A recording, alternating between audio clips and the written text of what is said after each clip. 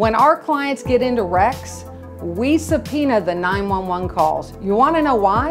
Because on those calls will be witnesses that call in, they give their name, they give their phone number, but it never hits the police report. Let me tell you, nobody types those calls up for you, but we listen to them and we get great evidence to help our clients. That's the type of expertise you get right here at 1 800 Truck Wreck.